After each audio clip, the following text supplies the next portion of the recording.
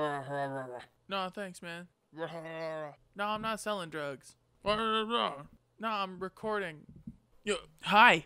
Today, we're talking about Owl House, the newest in the Disney sponsored isekai block. For the folks that are wondering what that word means, you know, the not total weeaboo degens, you know who you are. Isekai, roughly translated, means different world, and it's a popular genre of storytelling found in Japanese media, revolving around protags being transported, reborn, or trapped in a parallel universe. Often set in a high fantasy land, often involving video game elements, and oftentimes starring horny dudes creeping on even hornier girls under the pretense of meta humor because the main dudes know that they've been isekai'd.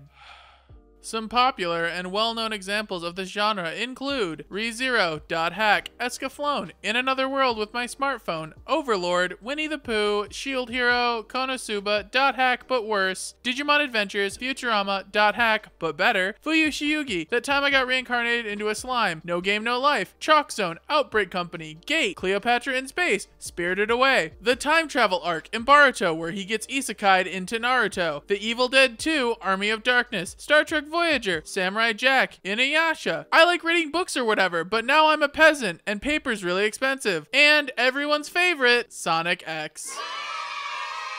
So, how does this turbo horny anime self insert fanfic genre apply to the totally different and not anime world of Western animation? Well, if you haven't guessed, this video is going to be exploring that and the long, rich history of Western isekai, or as some might call it, portal fantasy. No one calls it that, just this one Wikipedia article did. Also, the video is about Owl House and how good it is too. Whatever. A video can be about multiple things. Don't judge me. Oftentimes, Western isekai plots follow an Alice in Wonderland format, where their fantasy world is more of a reflection of the main character's psyche and the problems that they're facing. More often than not, it's just kind of a playground for them to work stuff out. In isekai narratives like Labyrinth or Neverending Story, they made a huge point of escaping the real world problems by getting whisked away into a fictional world, somehow being the one and becoming a hero of said world, you know, your basic bitch story circle deal. Whereas with your more traditional Japanese isekai, they're just kind of buying ramen or some crap and then boom, crunchitize me, Captain. You're the one true hero trying to defeat a demon king and banging animal things. The key difference here is that the world has no real direct narrative correlation to the characters, outside of it fitting in with tropes that not only the main character may recognize, but also you, the viewer, can recognize. Isn't that fun? As the world pushes closer and closer to inevitable globalization, th- this world, the, the real world, one of the tertiary side effects is the inevitable fusion of storytelling sensibilities. We see a similar thing in a different genre with Star vs. the Forces of Evil. Although it's kind of isekai, she gets shoehorned from her own, you know, kingdom to the world of Earth, but that's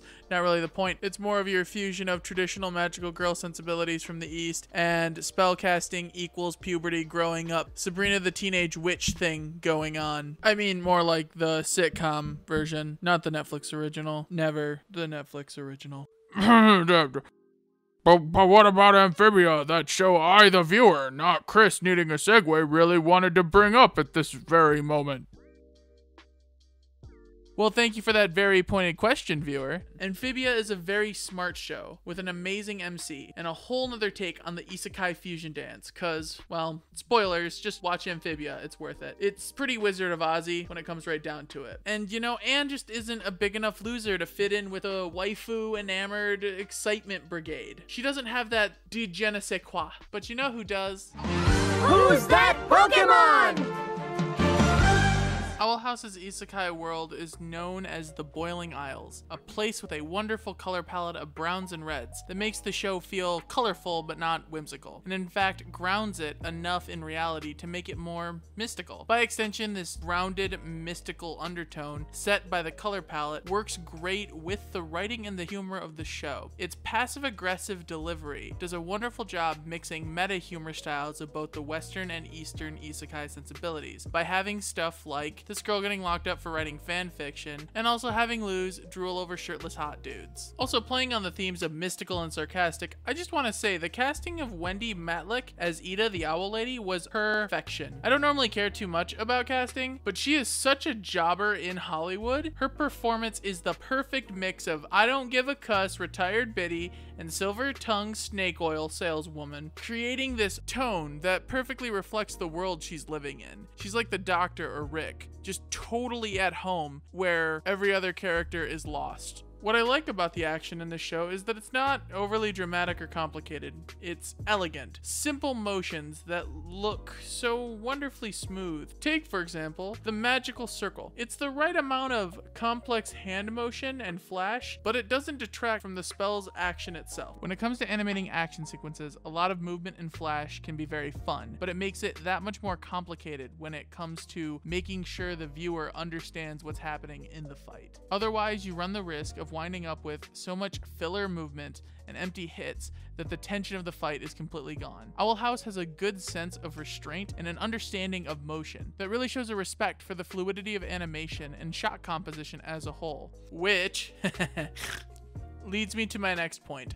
Owl House does such a wonderful job mixing the greatest strengths of both styles of other world stories. Our main character, Luz, feels like an outcast and does get isekai'd in a traditional Alice style and finds a place where she could belong and decides to say because she wants to grow into a person who she can be proud of. And on the other side of the Issa coin, Luz is still a big enough of a weeaboo NEET degen that she makes AMVs and reads trashy light novels. So she has an unbridled confidence and understanding of the world that she just entered, so she's going to have an easy time making it her own. But to her chagrin, they use that fact for humor to shut her down, making it work a lot like, I'd say about a third of your modern isekai pro tags. Owl House isn't perfect. I find a lot of the quirky Cronenberg background monsters are pretty uninspired and bland but when they're important to the narrative, they go pretty hard. I mean, there's just like a pile of dick pudding